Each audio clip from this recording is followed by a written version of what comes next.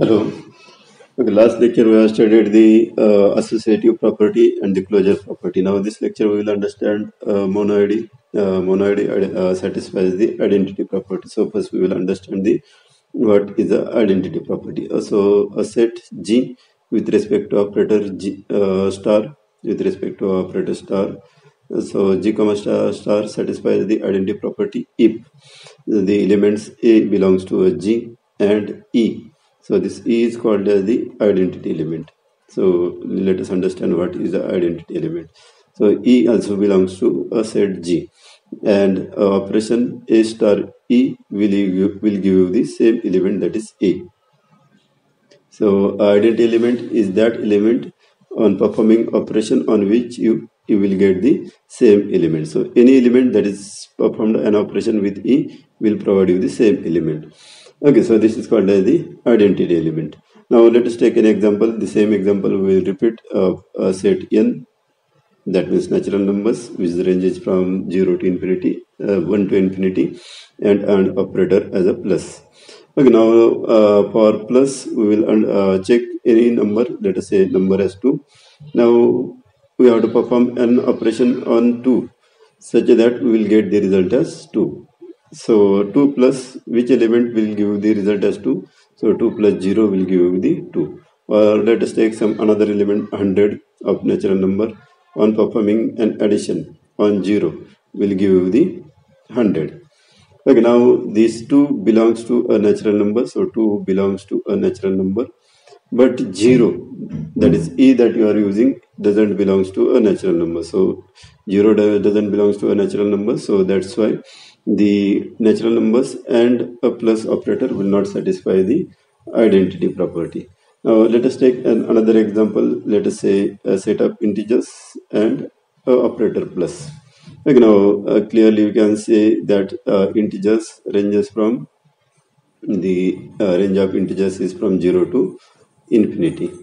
So as 0 is element, so we can easily say that uh, if you take an example as a equals to 2 then 2 plus 0 is equals to 2 100 plus 0 equals to 100 and this 2 belongs to z as well as 0 belongs to a z. Similarly here 100 belongs to a z as well as 0 belongs to a z. So 0 is the element for integers uh, which will give you the same number. So 0 is called as the identity. Now remember for any addition operation the 0 is the identity element. And for multiplication for example if we take a z operator and star. So a star element which will give you the a element. So which is which is the number that is present in integer set and will on multiplication okay so like write this as multiplication will give you the result as same element. So that element is called as the 1 so identity element for addition for addition addition e is equals to 0 for multiplication multiply e is equals to 1 so remember this for addition the identity element is 0 and for multiplication identity element is a 1 okay now let us define uh, the uh, uh, now we will define the uh, monoid so what is monoid so now you can clearly tell what exactly is a monoid so what is mono monoid so you can say that monoid is a semigroup. Why we are saying this as a semigroup? Because semigroup satisfies the closure and associative property. So semigroup which satisfies identity property.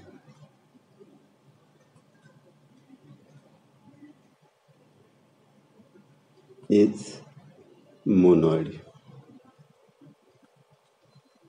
so say that semigroup that satisfies the identity property is called as the monoid now remember this identity property here. Now this identity property is required for the next uh, type we are going to study that is a group. So inverse. So group is called as uh, a group when it satisfies the inverse property. Okay, now let us first understand what is the inverse property. So inverse property is a set G with respect to operator star that is G comma star satisfies the inverse property if the elements A, A inverse and E all belongs to a set G and the operation A into A inverse will should give you the identity element. Okay, now in uh, previous we have studied the natural numbers and plus is not satisfying the identity property. So we'll discard this example and we will take the next example as z comma plus. Okay, now z comma plus satisfies the identity property because the range of z is from 0 to infinity. The range of z is from 0 to infinity and for this operation identity element we have found as identity is equals to 0 okay that is 2 plus 0 is 2 3 plus 0 is 3 or 100 plus 0 is 100 so 0 is the element that gives you the same result. Okay so similarly now let us check uh, this property. That is a star a inverse should give you the e. Now operator we are selecting as plus. Now let us uh, write this as a plus a inverse should give you the identity element that is e now we have we know that identity element for plus operation is a zero for multiplication is it is one. So what will be a A inverse? So write it as a zero here and solve it for the A inverse because we know uh, A element, we know identity element, we have to find the A inverse. So A inverse can be written as minus A. A inverse can be written as minus A. Let us take an example A equals to 2. So A plus minus 2 is equals to sorry 2 plus minus 2 equals to a 0 that means it is satisfying the property. Okay so z plus is satisfying the property. Now let us check z star. Z multiplication. Will satisfy this property or not? Okay now let us take an example. A equals to 2 okay now a into a a star a inverse or a multiplied by a inverse should give you the identity element. So for multiplication identity element is a 1 so a into a inverse is equals to 1 so it should be a inverse? So a inverse equals to 1 by a. And 1 by a doesn't belongs to a z. 1 by a doesn't belongs to a z. So that is why z comma star sorry z comma multiplication is not inverse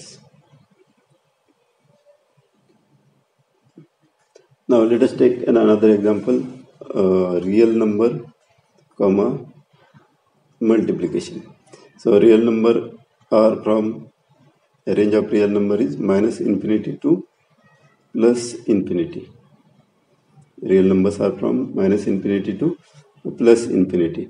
And that includes the uh, that includes the uh, fractional numbers also. So we can clearly say that if a is equals to 2 a inverse is equals to 1 by 2 and both belongs to a comma a inverse belongs to a real number. That is why this real number and multiplication operator satisfies the inverse property. Now let us understand the group. So what is group? Now group.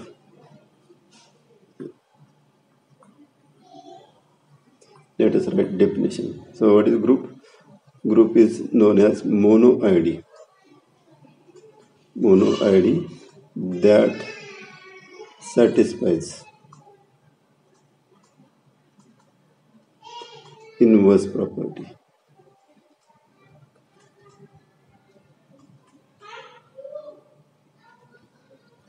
Monoid that satisfies the inverse property is called as the is a uh, group. Why we have written monoid? Because group should satisfy all the properties that is closure, associative and identity. And monoid satisfies all these three properties. That's why we are writing it as monoid that satisfies the inverse property is a, a group. Okay, now next lecture we uh, study uh, some examples based on the group and a abelian group.